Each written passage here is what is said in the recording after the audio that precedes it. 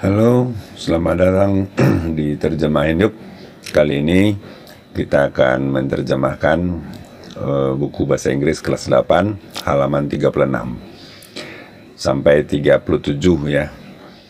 Nah, sebelum mulai subscribe dulu dan like videonya.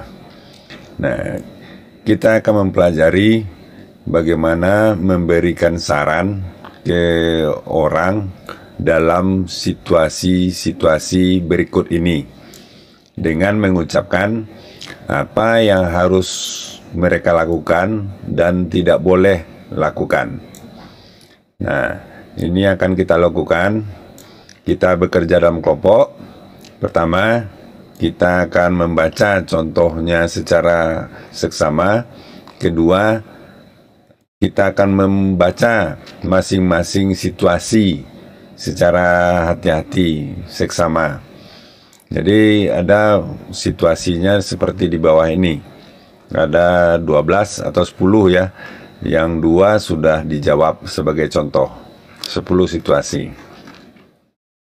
Yang ketiga, kita akan mendiskusikan dan memutuskan saran-saran apa saja yang harus diberikan. Kemudian, masing-masing dari kita akan menuliskan pernyataan yang lengkap dalam selembar kertas. Jadi setelah didiskusikan secara kelompok, sudah dapat jawabannya ke 10 uh, situasi tadi. Nah, ditulis di kertas selembar. Tentu dikumpul Terakhir, kita akan membagikan atau menyampaikan saran-saran kita itu di kelas. Nah, ya, pergunakan kamus. Kita akan mengucapkan kalimat dan menggunakan tanda baca secara benar. Kita akan mengucapkan kalimatnya secara keras, jelas dan benar. Jika ada masalah, tanya guru. Ya. Kita lanjut ke halaman 37.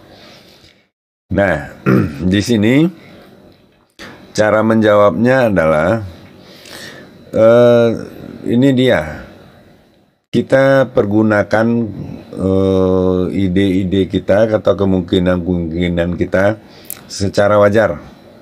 Ya, seperti contoh kita ada dua tes besok bahasa Inggris dan IPS. Nah, apa yang harus uh, kita sarankan atau harusnya tidak dilakukan? Nah, seperti ini. Kamu tidak boleh pergi bermain. Kamu harus belajar untuk tes tersebut. Nah, ini. Jadi be, kalau besok ada tes, artinya tidak boleh main game dan harus belajar. Nah, Begitu juga situasi kedua, saya tidak mengerti makna row. Nah, apa saran kita? Nah, sarannya adalah kamu harus melihat ke kamus ya. Kamu harus melihatnya sendiri di kamus. Itu ter, terjemahannya. Kamu tidak boleh tergantung pada orang lain tiap waktu ya atau kamu tidak boleh selalu tergantung pada orang lain. Nah, itu saran kita. Jadi yang satu memakai salt, satu lagi memakai salt not. Nah, bagaimana cara menjawabnya? Tulis dulu dalam bahasa Indonesia apa kira-kira eh, saran yang harus kita lakukan dan yang tidak boleh uh, dilakukan dalam bahasa Indonesia. Setelah itu kita terjemahkan ke dalam bahasa Inggris menggunakan Google Translate atau Google terjemahan. Seperti contoh nomor tiga, saya akan pergi keluar, tetapi uh, sekarang sedang mendung, artinya mau hujan. Jadi kalau seperti ini situasinya, nah kamu harus membawa payung ya kamu tidak boleh uh, keluar tanpa persiapan ya atau silakan ide kelompoknya bagaimana.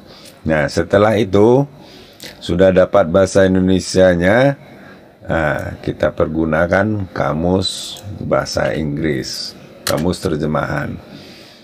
Ya, pakai Google terjemahan. Nah, ini. Pakai bahasa Indonesia, di sininya bahasa Indonesia.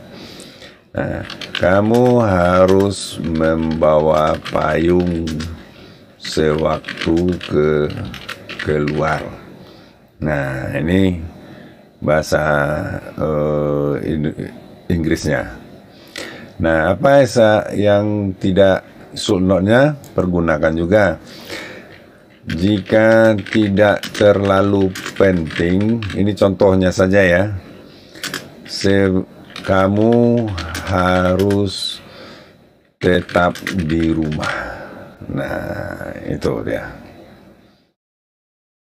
Oh, kamu tidak boleh ya, kamu tidak boleh tidak boleh keluar ya keluar rumah. Nah, itu itu contohnya. Begitu juga nomor 4, saya pikir saya kena flu. Nah, apa yang harus dilakukan dan apa yang harus tidak boleh lakukan. Jadi kalau kita kena flu, kita tidak boleh bermain, selalu bermain keluar. Apa yang harus dilakukan? Yaitu istirahat dan minum obat. Kamu harus istirahat dan minum obat. Nah, nomor lima, beberapa siswa meninggalkan sampah di mejanya, ya.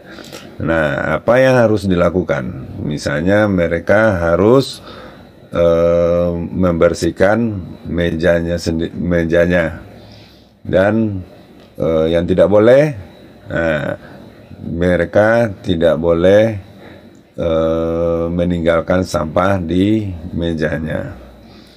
Nah, lanjut. Saya duduk di bagian belakang. Saya tidak bisa melihat tulisan kamu di papan tulis. Nah, apa yang harus dilakukan? Kamu harus duduk di depan dan berhenti dan tidak boleh uh, selalu komplain ya harus jangan sedikit-sedikit uh, apa komplain-komplain seperti ini. Ini kan komplain dia nih. Ya. Yang ketujuh, saya rindu akan ponaan saya. Nah, apa yang dilakukan untuk melepas kerinduan ini? Bisa kamu harus pergi menemuinya atau untuk yang tidaknya kamu jangan terlalu memikirkannya. Nah, nomor 8 kaki saya kram ya atau tidak berasa karena saya mendudukinya. Nah, apa yang tidak boleh dilakukan? Kamu tidak boleh langsung berdiri. Kamu harus uh, men, me, apa namanya? meluruskan ya meluruskan kakinya supaya aliran darah itu bisa lancar. Nah, silakan pergunakan bahasa Indonesianya, kemudian pergunakan kamus bahasa Inggrisnya. Itu kira-kira. Nah, ruangan kelas saya kotor dan berantakan. Nah, kita harus membersihkannya dan merap kita harus membersihkan dan merapikannya kita tidak boleh buang sampah sembarangan. Nah, saya dapat sakit uh, bukan gitu ya. Saya sakit gigi. Nah, yang tidak boleh dilakukan adalah mencongkel gigi yang sakit tersebut dan kamu harus uh, gosok gigi tiap hari pagi dan sore minimal. Ya, setelah makan pagi atau sebelum bangun tidur dan mau tidur. Saya tidak ber, bisa berhenti menguap. Ya. Nah, kamu harus tidur. Ya, kamu tidak boleh begadang atau tidur terlam, terlalu malam. Nah, yang terakhir saya dapat cegukan. Nah, cegukan ini bagaimana mengatasinya? Kamu harus misalnya kalau kita tidak tahu cara cara bagaimana mem, uh, mengatasi cegukan. Nah, kita lihat di Google. Ya, cara mengatasi cegukan. Nah, nah ini, kamu harus berkumur menggunakan air dingin. Nah, nah bagaimana supaya dap, tidak dapat cegukan? Hmm, kita lihat penyebab cegukan. Nah, kamu tidak boleh terlalu banyak makanan makan terlalu panas atau terlalu dingin. Atau bisa juga kalau dia suka mengunyah permen karet ya kamu tidak boleh mengunyah atau terlalu banyak makan permen karet. Nah seperti itu. Kita pergunakan uh, Google terjemahan dan Google search. Nah, itulah cara menjawab pertanyaan pada halaman 37 buku bahasa Inggris kelas 8 SMP. Mudah-mudahan bermanfaat. Sampai jumpa.